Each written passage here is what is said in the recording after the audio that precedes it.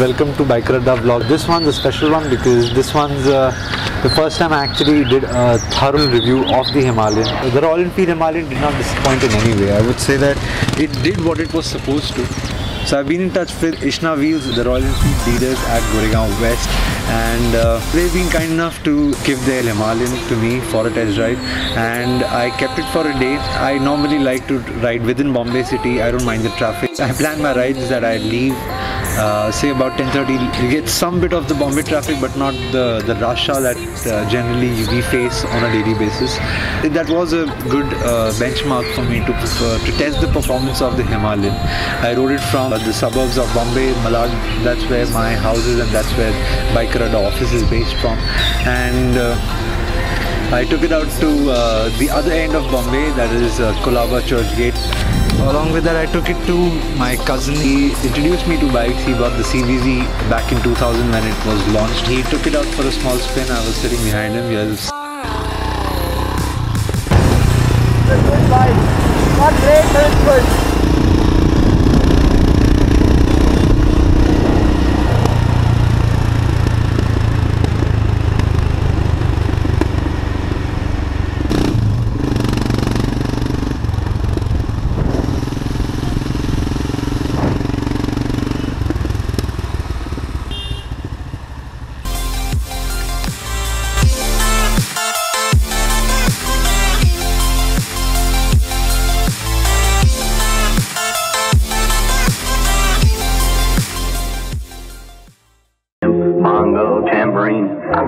What are these things? Uh, oh, these? These are claves. Uh, what are they for? Set a rhythm for the Latin Americans. Here, let me show you. See? Very simple. Very simple.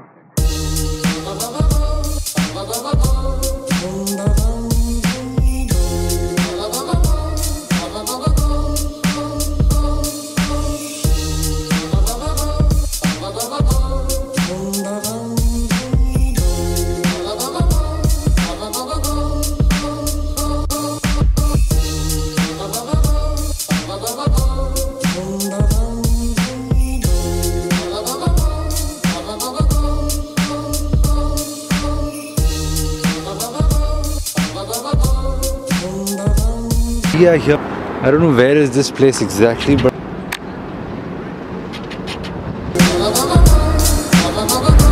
so this is what I came here for. This is my view. Tied the ends of the guitar strings to the claves used for Latin American rhythm.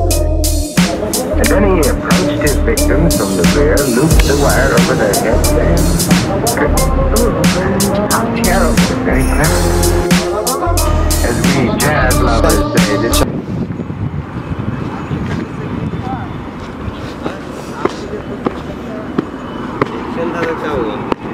ये average कितना देता है शंकर मंदिर है ना? Sorry आपका नाम sir Santosh. Hello Kunal. Sir Kiran. ये बाइक के बारे में पहले से पता था क्या? हाँ हाँ इसका ये हिमालय देखा है हमने। ऐड देख के और रफ रफ चला था रफ रास्ते पे चल। रहा Santosh sir Santosh. Santosh sir. Kiran sir ने मेरे को अभी। वो टॉप पे जाने के लिए मेरे को यहाँ बाइक पार्क करना पड़ेगा। यहाँ पर हाँ, यहाँ पर जो वाइट वाइट दिख रहा है पेड़ के पीछे वो टंकी है। वहाँ से फिर वो बोल रहे हैं और 40 किलोमीटर आगे और भी अच्छा है। अच्छा ऐसे ही कुछ है। पानी वाला बावड़ी जैसा। ये ये, ये, वो डैम है डैम। डैम है? डैम है। अच्छा है वो देखने के लिए।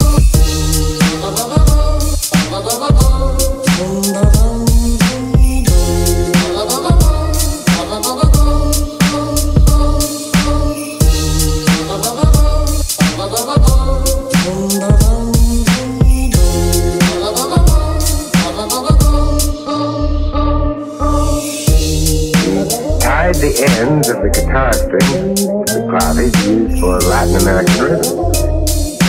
And then he approached his victims from the rear, looped the wire over their heads, and... Ooh, how terrible. Very clever. As we jazz lovers say, this routine is murder. after writing it I, uh, the torque was really impressive. It really helps the bike perform at places where other bikes can't. So as you can understand, the torque is the key with this bike. It is a LS410 engine. That's the design name of the bike given by Royal Enfield. LS stands for long stroke. Long stroke kya hai? What long stroke essentially means is that, so you understand there are two concepts of an engine. One is the bore. Bore is the diameter of the piston. So the linkage between the main crankshaft and the uh, the up and down motion of the piston. That actually uh, the up and down motion is called the stroke. So the long stroke engine on specially specifically on uh, on road. What does that mean is that you don't when you're entering in a corner you normally are worried about exactly what is the gear that you're on. If you're on a higher gear, will it will the bike just push through the corner and actually take you off the road? But with these bikes is that uh, the, because they're not high performance machines, they're not high revving machines. Even at low revs at a higher gear, you can actually get into a corner at uh, decent speed and uh, within on the same gear you can get out of the turn, uh, get out of the corner at uh, impressive speed. So that's that's a good fun. And off road again, it's the fun that you don't have to worry about which gear you're on. You can just leave it on the second or the third gear. And actually, I'm a beginner rider in terms of off-roading. I would say I'm not off-road much, but I have ridden on uh, rougher terrain, so that that helped me in terms of using this. So the vibrations are lesser compared to the other Royal Enfield bikes, so that's a good thing. So now coming to the brakes, the brakes are pretty efficient. Comes with dual brakes, uh, dual disc brakes, front and rear. The I wouldn't get into the specific sizes and the numbers of the brakes, but then so what I felt was that the brakes don't die out or they don't give away at high speed when you're constantly using the brake for a very long time. Because I think one of the good points is that it has uh, steel braided lines, brake lines, so that's a good thing. But the problem with the overall dynamics of this bike is that it's got road and off-road capable tires. So what does that mean is that uh, the rear side does not slide often. It gives you good good stability, but the front tire. So you feel that the bike is not giving the ultimate grip when you're trying to brake from 90 to a dead stop.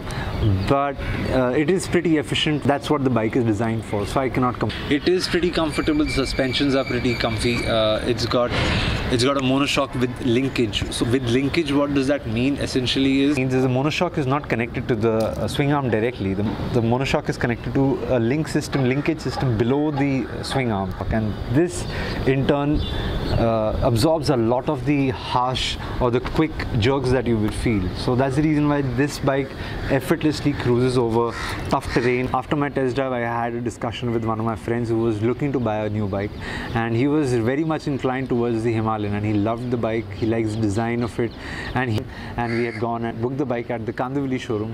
Congratulations, let me congratulate you, my brother. He's just bought, bought his, uh, booked his Himalayan right now.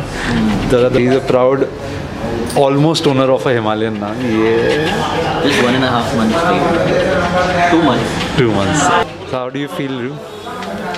Right now, there's too much anticipation happening. Good Thank one. you so much.